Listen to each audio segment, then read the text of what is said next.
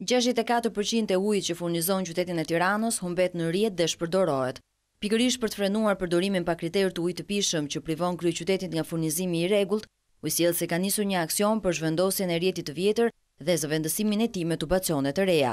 Në këtë mënyrë askush nuk mund të bëjë lidhje të paligjshme përmes të cilave të përdorë ujin e pijshëm për vaditje apo për biznes privat. Zona e Saukut konsumon çdo ditë rreth njëqind deri njëqind e njëzet litra ujë në sekond. Shumë kjo e barabartë për rreth njëqind mijë banorë, ndërkohë që Sauku nuk i kalon as të njëzet e pesë mijë banorët. Pra konsumon katërfishin që do të thotë shpërdorim.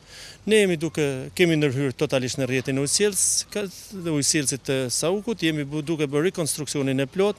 Tirana ka ujë për dy milionë, por niveli i shpërdorimit dhe niveli i i konsumit jo jo normal arrin në ato përmasa të cilat dëmtojnë. Aksioni do të shtrihet në zonën e Selitës, Kodrës së Priftit, Shkoz dhe pjesë të tjera periferike të Tiranës.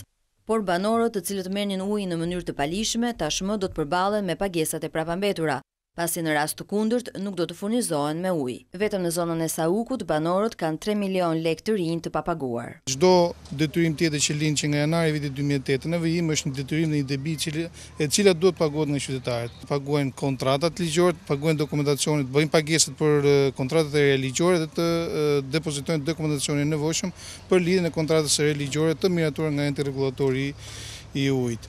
Sipas drejtuesve të ujësjellësit, zëvendësimi i tubacioneve të vjetra ka arritur të ulë në këto dy vjet dhjetë përqind sasinë e shpërdorimit të ujit të pijshëm.